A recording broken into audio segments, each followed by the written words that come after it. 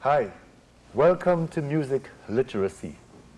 This is a series of programs designed to educate you in the, in the ways of writing, reading, and understanding music.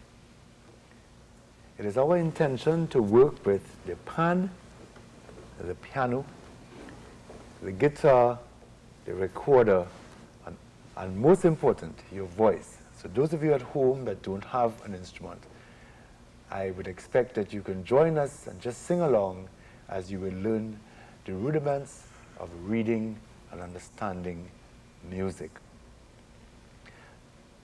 Our intention in today's lesson is to work particularly at sound, hearing, sight, seeing, and understanding the instrument from which you'll be using for your practice.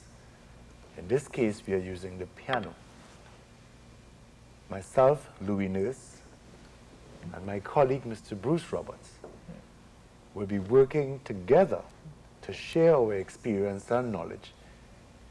So at the end of the day, we will all be musicians.